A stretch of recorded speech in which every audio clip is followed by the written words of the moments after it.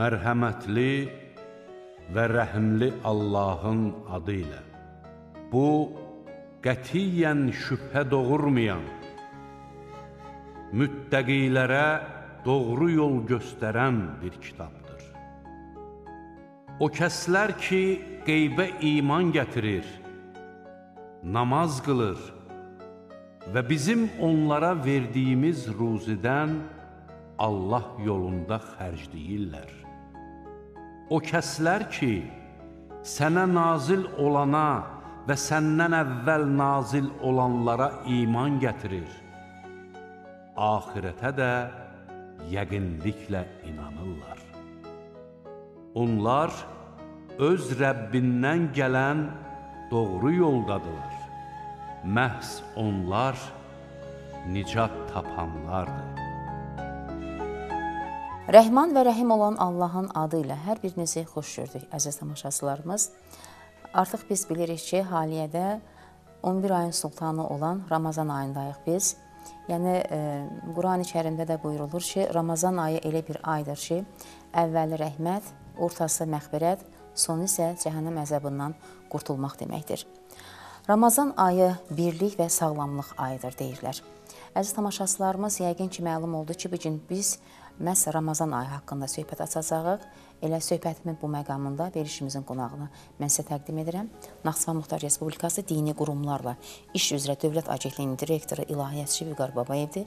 Vüqar, mən verilişimizə xoş gəlmisiniz. Xoş gördük.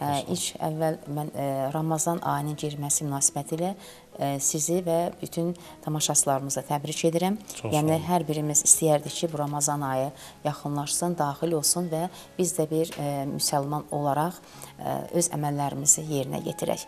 Və bu gün yenə bir neçə sualla sizə müraciət etmək istəyərdik. Şübhəsiz ki, tamaşaçı sualları əsasında bu gün verilişimizi hazırlamağı nəzərdə tutmuşuq. Yenə tamaşaçı sualları ilə sizə müraciət edəcəyik.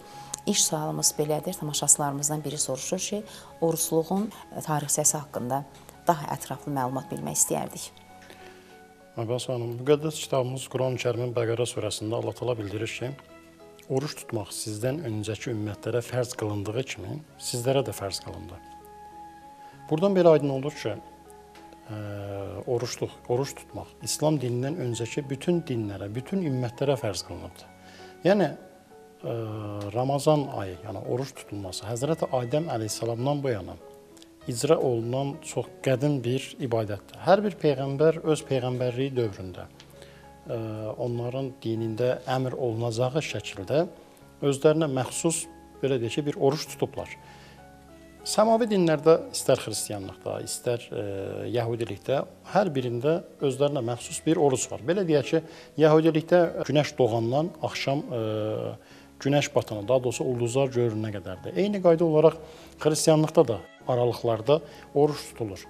Və ə, ta ki xristian dininə belə baxsaq, orada kilsəyə aid bir oruc var, din adamları. Adətən ə, xristian dinində orucu din adamları, rahib və rahibələrə məxsus olan bir ibadət olaraq bilinir. 40 gündən ə, ibarətdir və qış aylarına təsadüf eləyir. Bizdəki İslam dinində olduğu kimi tamamilə yemək içməkdən kənar olmasalar da müəyyən bir pəhriz saxlayırlar.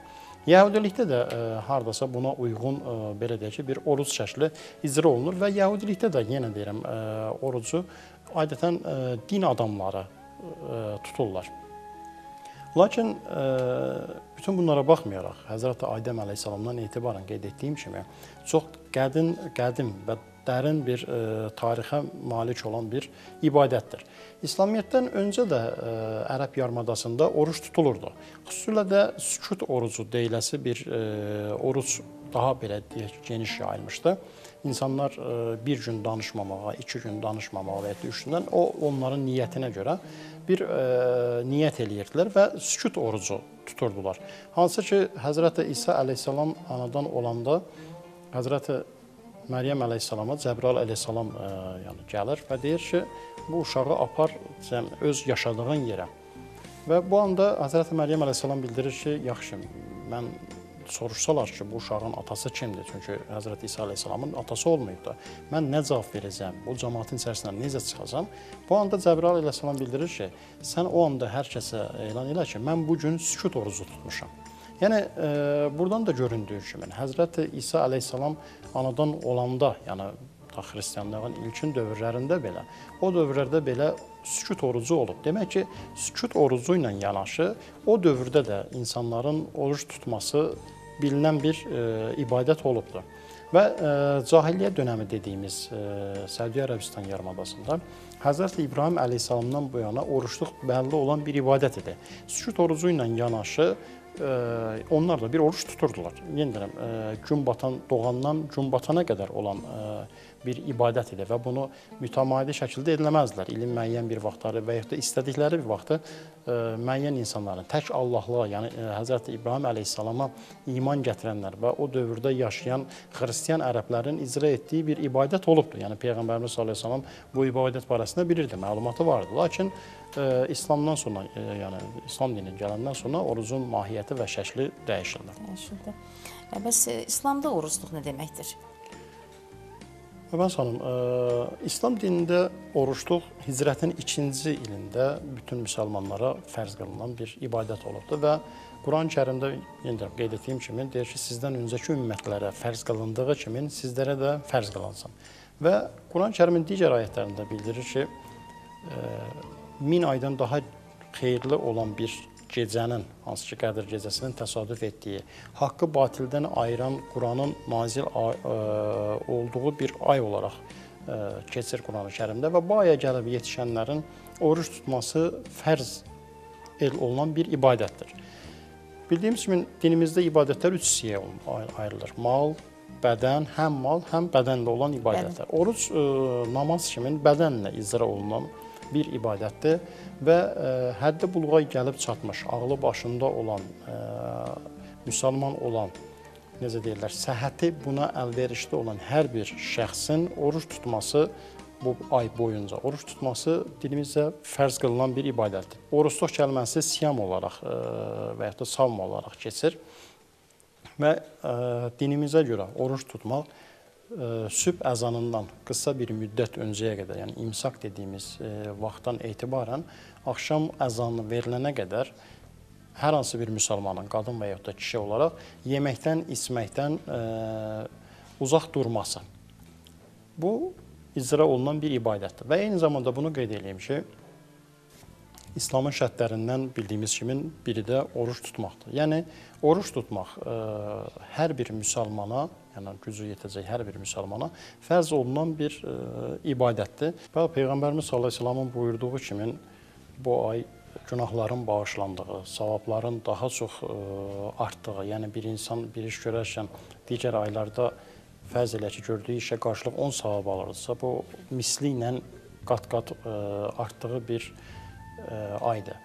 Və Ramazan ayı gəlincə insanların ə, belə deyək ki, o ibadətlərə yönəlməsi, daha çox xeyirxah işlər görünməsi peyğəmbərimiz sallallahu tərəfindən tövsiyə olunan ə, bir ay olubdur. Və hər zaman tövsiyə edib ki, bu aylarda çalışmaq lazımdır ki, bol-bol Quran-Kərim oxunsun, nafilə ibadətlər, yəni nafilə olunan ə, namazlar həyata keçirilsin.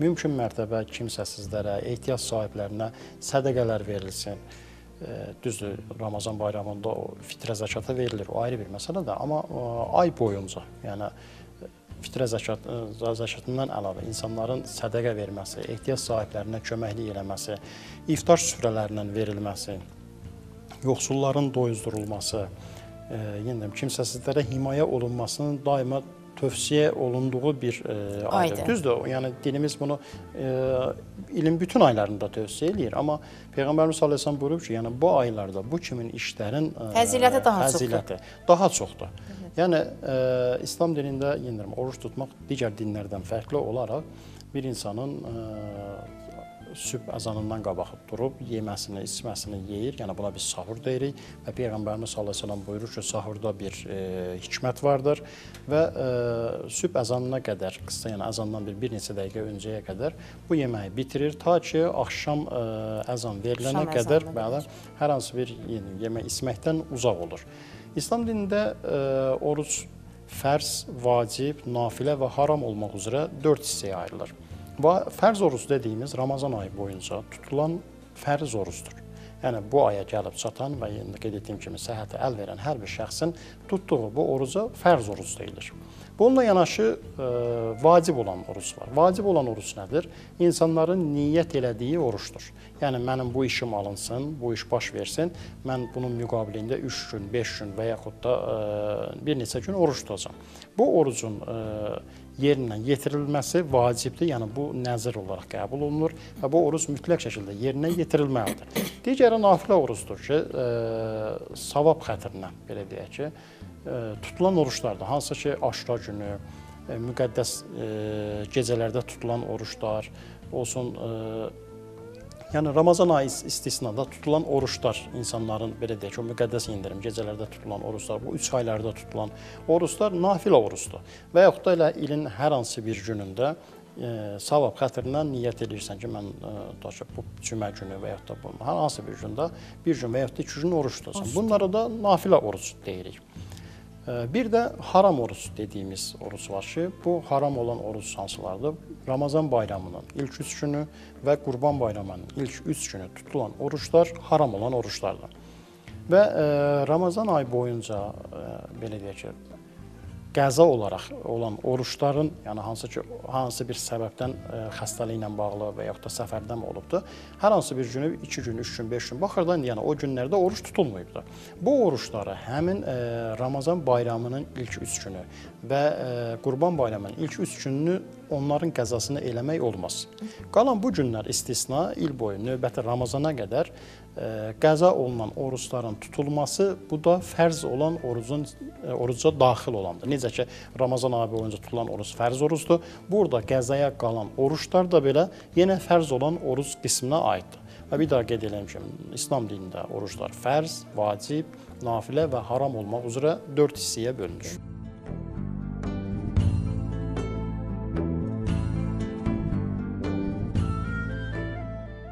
Biz hər hansı bir ayəni dəyişdirir və ya onu unutdururuqsa, ondan daha yaxşısını və ya ona bənzərini gətiririk. Məyər bilmirsən ki, Allah hər şeyə qadirdir? Bilmirsənmi ki, göylərdə və yerdə hökmranlıq təkcə Allaha məxsusdur? Sizin Allahdan başqa nə bir himayəçiniz, nə də bir köməkçiniz vardır.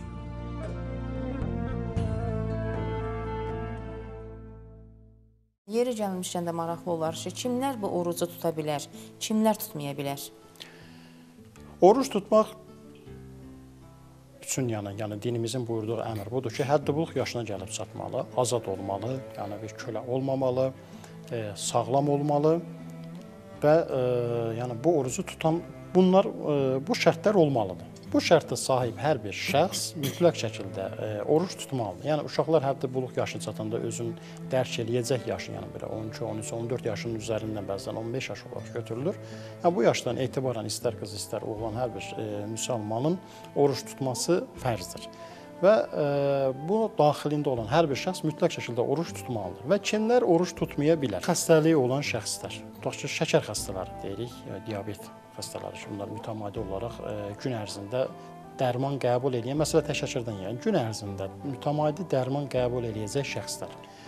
E, yaşlı kimsələr, yəni daha artıq o ahıl yaşda olan kimsələr, hamilə olan qadınlar, süd verən qadınlar, Bununla yanaşı e, ağlı, yəni əqli cəhətdən zəif olan şəxslər. Xəstəliyi oruç tutmağa mane olan şəxslər. Yəni elə xəstəliklər də var ki, bunlar e, tutaq mədə xəstəliyi var və ya da digər bununla bağlı olan hər hansı bir xəstəliklər var ki, bunlar e, oruç tutmağa əlverişsizdir. Səfərdə olan şəxslər ki, bir uzaq ölkəyə gedibdir, fərqli bir ölkədədir, fərqli bir yerdədir. Bunun ə, e, namaz vaxtların və ya da orucun düzdür. Bugünkü gündə ə, e, texnologiya inkişaf edib istənilən ölkədə bu vaxtları müəyyən etmək olur. Amma indi işi ilə əlaqədar olaraq ə, e, belə deyək ki, oruç tutmaya bilərlər və bu həmin şəxslər az öncə dediyim kimi ə, məmləkətindən, yəni öz vətəninə qayıdıb gəldikdən sonra oruclarına davam eləyirlər. Tutmadıkları günün e, müqabilində də Ramazan ayı bitdikdən sonra növbəti Ramazana qədər e, oruclarını tuta Davam. bilərlər, davam eləyə bilərlər. Və e, işi ilə əlaqədar olaraq ağır, çətin bir şəraitdə yaşayan, e, belə işləyən e, şəxslər var ki, bu şəxslərin e, oruç tutması bunların gördüyü fiziki işin müqabilində onları belə deyək ki, e, necə deyirlər, müəyyən bir xəstəliyə gətirə bilər və ya da işlərində qüsur yarada bilər. Bu şəxslərdə kəfara, yəni gücləri çatırsa deyəsəm bu kəfaranı, kəfara qarşılığında, yəni oruç tutmaya bilərlər. Və insanlar var ki, hər hansı bir xəstəlikləri də yoxdur, belə deyək amma aclığa tabu yoxdur, yəni özlərini saxlaya bilmirlər də, aclığa e, davam olmayan şəxslərdir. Yəni bu insanlar özlərini məcbur edib oruç tutmaları düzgün bir şey deyil. Yəni gələcəkdə səhhətlərindən vurula biləcək e, zərərlə əlaqədar olaraq bu şəxslərdə oruç tutmaya bilərlər. Vüqar müəllim, oruç tutan şəxsin edə biləcəyi və edə bilməyəcəyi amillər hansılardır? Öncə bunu qeyd edeyim ki, artıq sübh azanına qədər yemək, içmək tamamlanır. Yəni gün ərzində oruç tutan hər hansı bir şəxs yeməkdən, içməkdən uzaq durmalıdır. Yəni hər hansı bir qida qəbul eləyə bilməz. Bu orucu pozacaq amillərdir. Düzdür, unudaraq yeyib içən bir şəxs orucuna davam eləyə bilər. Peyğəmbərimiz sallallahu əleyhi və səlləm buyurub ki, unudaraq yeyib içən bir şəxsi Allah Taala yedirdib içirtmişdi. E, düşünün ki, unutmuşuq və ə, hər hansı bir qidanı qəbul eləmişik, nə qədərsə öz yerində, hal-hazırda ağzımızda bir o tikəni çeyniyirik. O anda yadımıza düşdüyü andan etibarən ağzımızı belə deyək ki, ə, yaxalayaraq oruca davam edirik. Və yaxud da deyə bilmərik ki, ə, unudaraq yemişik və qabda qalan bu son tikələri də elə tamamlayım, sonra ağzımı yaxalayıb oruca davam edərəm, belə olmaz.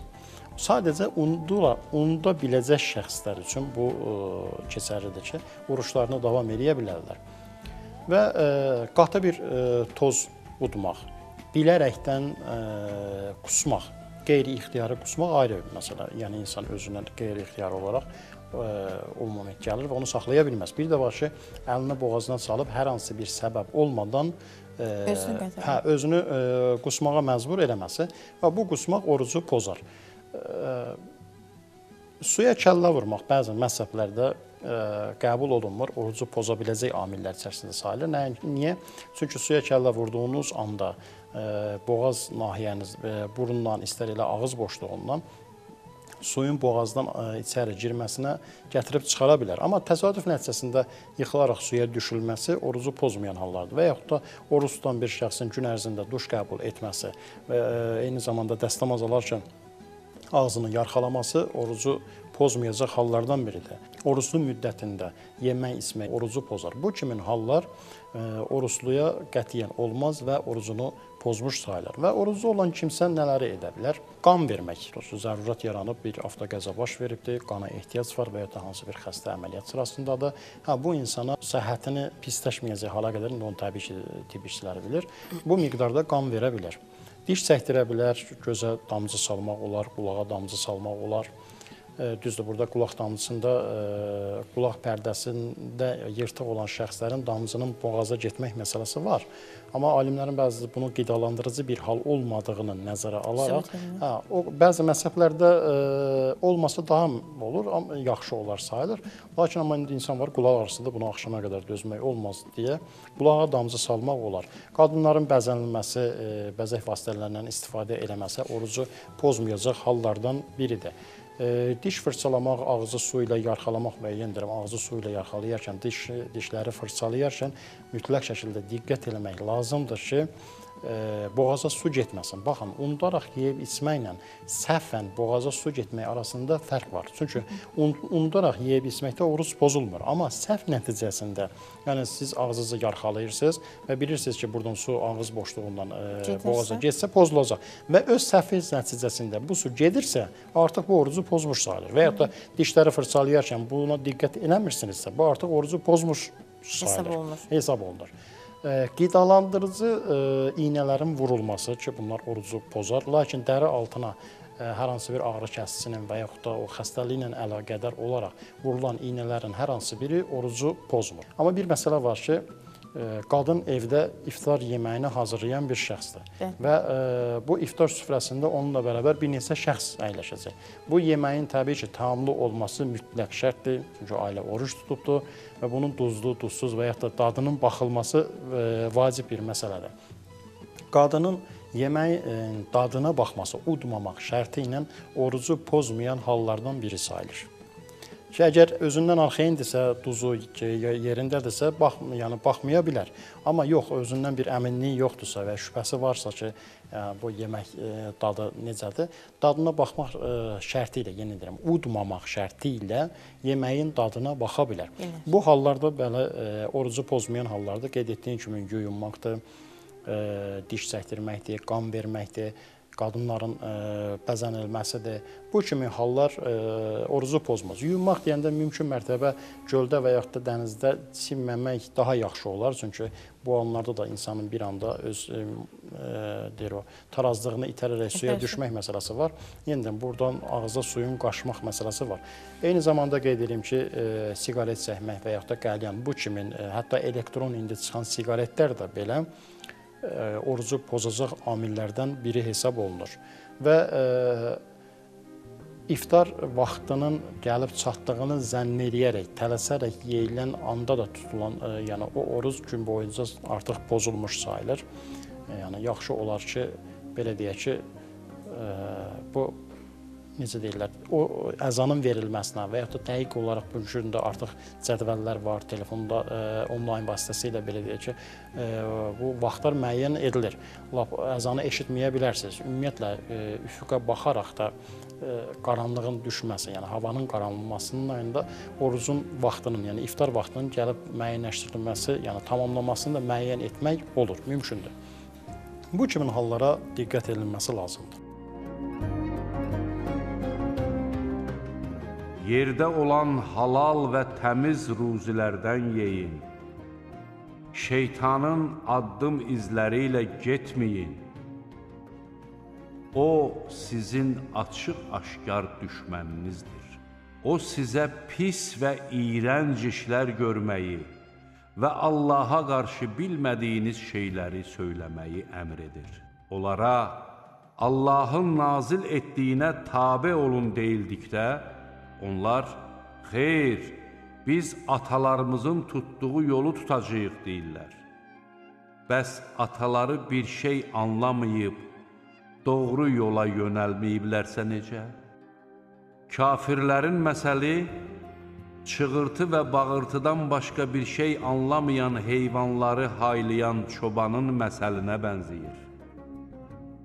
Onlar kar, lal və kordular. Haqqı anlamazlar. Ey iman gətirənlər! Sizə ruzi kimi verdiyimiz pak şeylərdən yeyin və əgər Allaha ibadət edirsinizsə, ona şükr edin. Vüqar müəllim, indiki vəziyyətlə əlaqədar olaraq oruç tutan ə, müsəlman bacı qardaşlarımız nəyə əməl etməlidirlər? Nəyi qorumalıdırlar?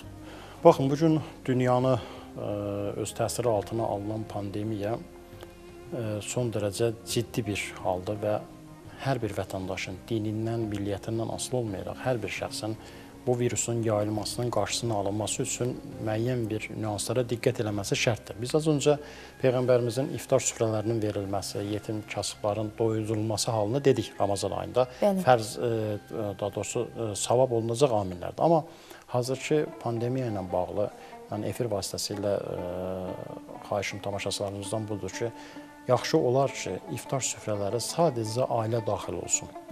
Yəni e, əvvəlki illərdəki kimi toplu bir şəkildə iftar süfrələrinin verilməsi və yaxud da e, yığışıb bir e, bunu bir necə deyirlər, toplantı halına gətirilməsi hal-hazırda pandemiya ilə əlaqədar yol verilməz bir haldır və xahişim burasındadır ki, mümkün mərtəbə bu şeylərə diqqət olunsun.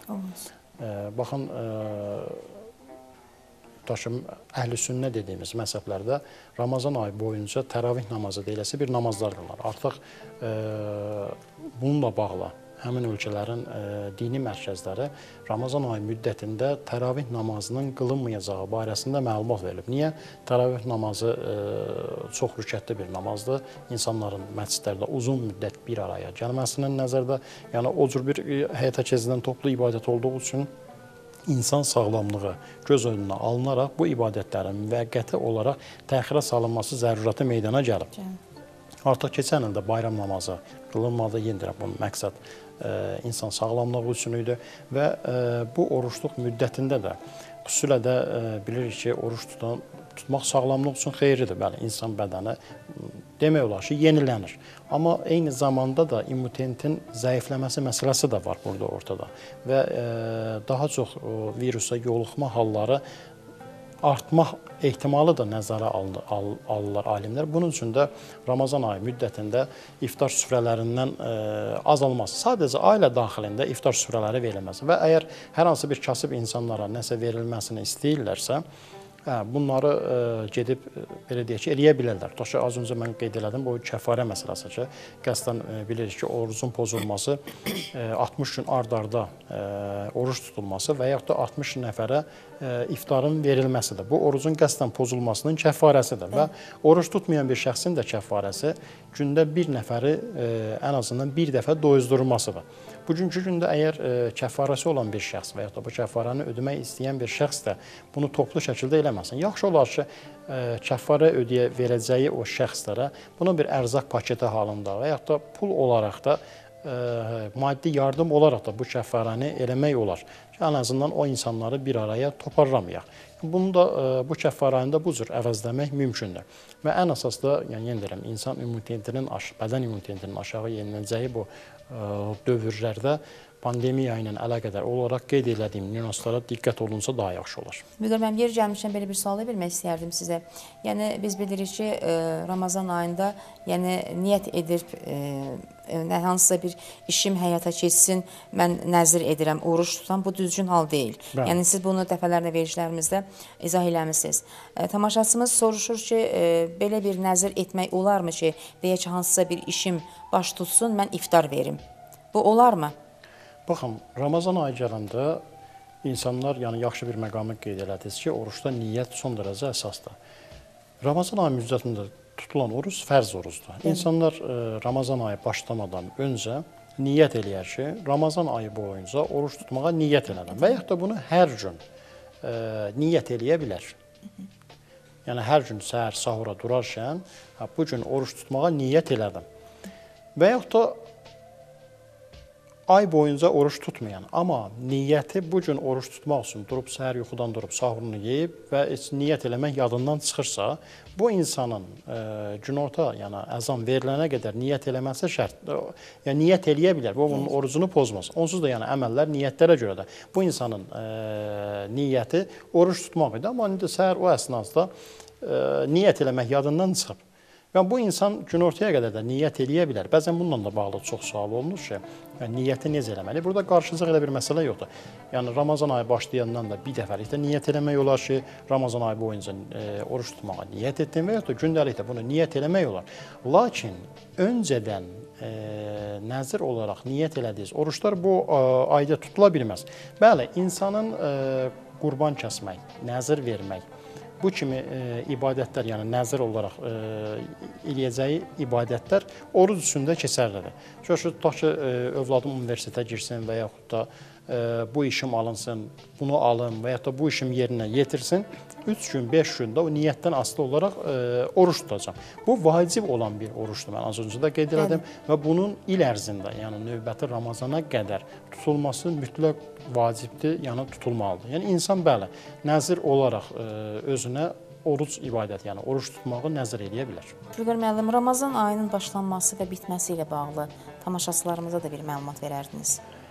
Bildiyimiz kimi dini təqvimlər ayın yer ətrafında dönməsi ilə əlaqədardır və e, miladi təqvimdən fərqli olaraq hicri təqvim 365 yox, 355 gündür. Bunun üçün də hər il e, dini bayramlar, e, dini aylar miladi təqvimə görə 10 gün 10 gün iləriyə doğru e, hərəkət eləyir. Peyğəmbərimiz səlləmin dövründə Ramazan ayının başlanılması ayın üfüqi xəttimizdə görünməsi ilə ayın başlanılması, yəni başlandı və eyni qayda olaraq da ə, ayın üfüqdə, üfüqi xəttimizdə görsənməsi ilə ay sona yetir. Bugünkü gündə dünya müsəlmanları iki sistemdən istifadə edirlər. Bir, ayın bizim yaşadığımız dövrdə, yəni yerin biz də yaş yaşadığımız tərəfə ə, girməsi ilə, teleskop vasitəsilə baxılması və digəri isə üfüqi xəttimizdə gəlib çatında ayın başlaması ilə götürülən iki sistem var.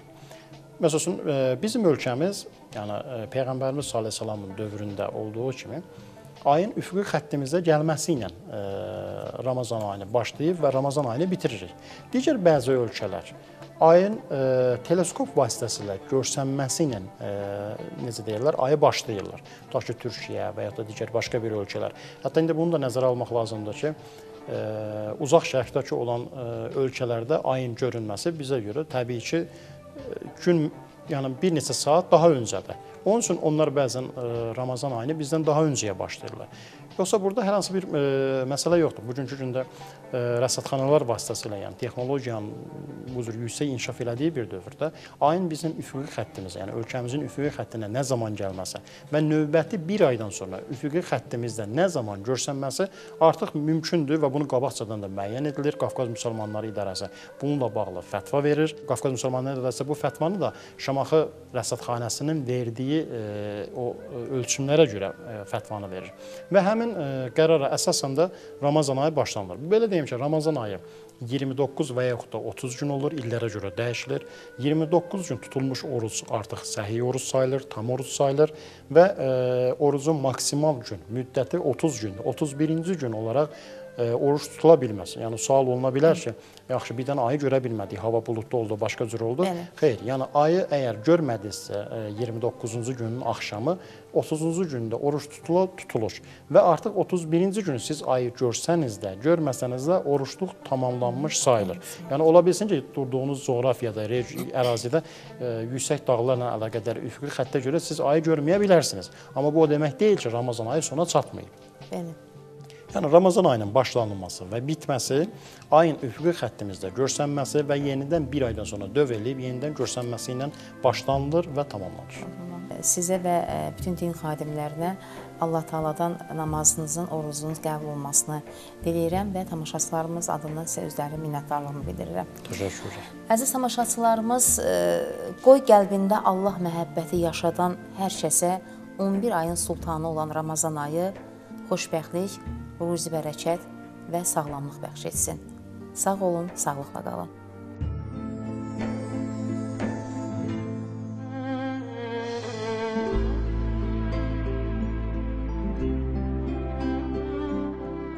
Hər kəsin qazandığı xeyir yalnız onun özünə, qazandığı şər də yalnız öz əleyhinədir. Ey Rəbbimiz, unutsaq və ya xəta etsək, bizi cəzalandırma.